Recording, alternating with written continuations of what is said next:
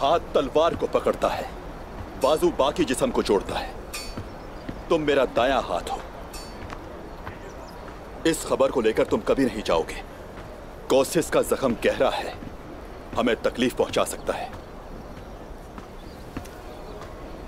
बात सुनो। कोशिश तक पहुंचाओ।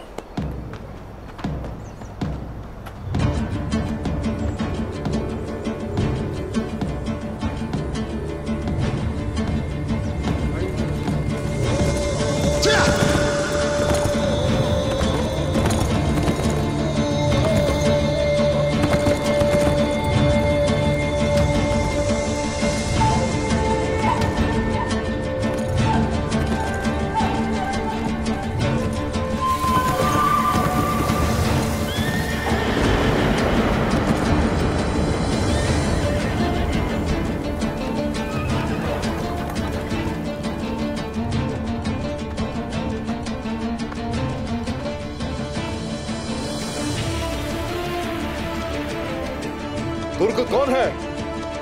मैं हूँ। कौन पूछ रहा है? भाई सरदार अर्दुल गाजी का जानशीन हूँ उस्मान।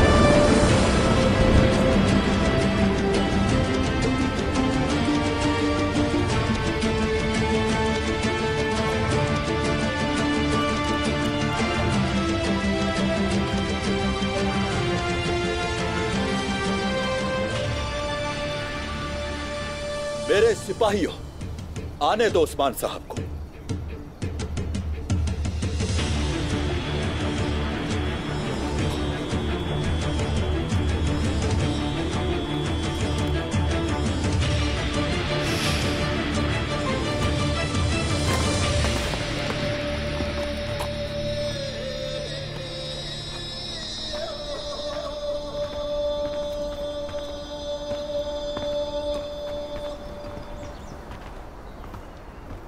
अस्सलाम वालेकुम वालेकुम अस्सलाम खुश आमदीद जिसे तुमने अगवा किया मारी उसका भाई हरमान काया का तकफूर मेरे पास आया था अपनी बहन का सवाल कर रहा था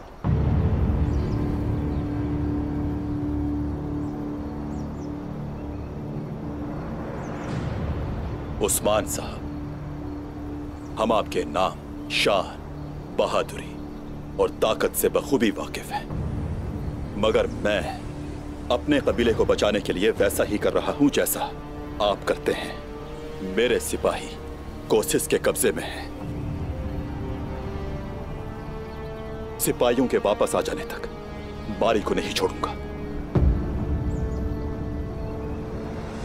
ना ही आपको उस्मान साहब और ना ही किसी और को। वाकई अगर तुम्हें मेरी बहादुरी का अंदाज़ा है तो जान लो कि मेरा हुक्म मानने के अलावा तुम्हारे पास कोई इशारा नहीं तुर्कुत सिपाही। मारी को मेरे हवाले कर दो। तुम्हारे सिपाही कुस्तुन दुनिया से मैं लेकर आऊँगा। फ़िक्र नहीं करो, इस तिजारत के दौरान किसी को कोई नुकसान नहीं होने दूँगा।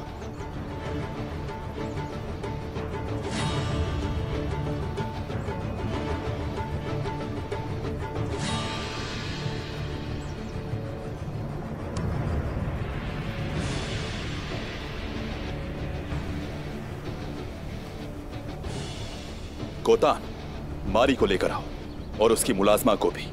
जैसे आपका हुक्म।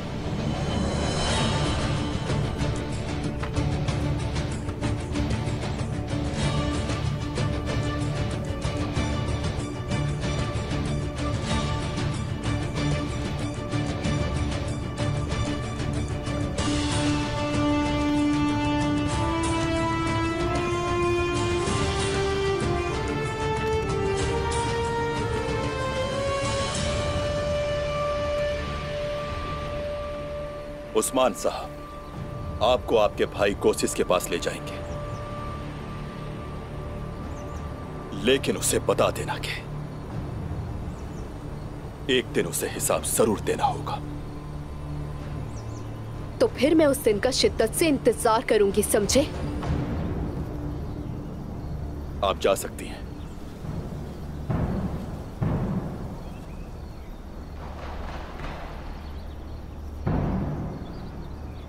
दुरुस्त फैसला किया।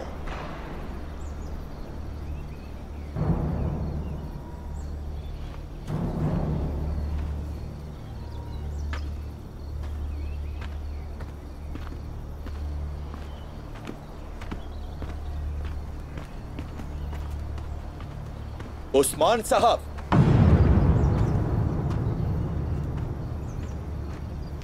उम्मीद करता हूँ आप बिल्कुल वैसे ही होंगे जैसे लोग कहते हैं।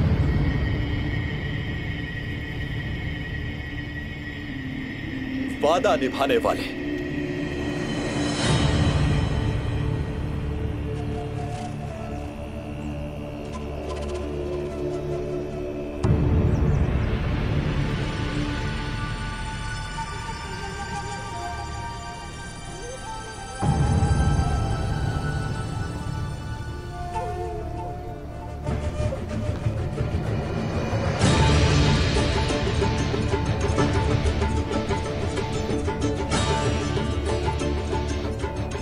कहा था, फ़िक्र मत करना।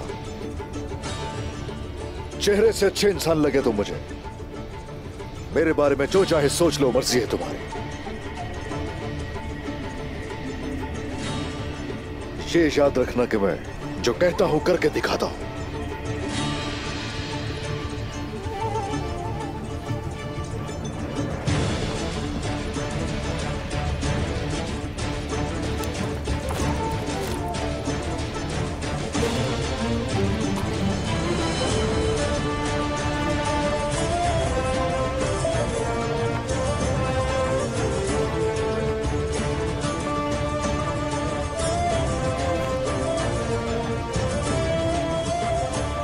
बोरान हुजूर।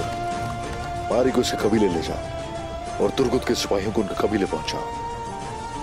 हर कदम एहतियात से उठाना। ऐसा ही होगा सरदार।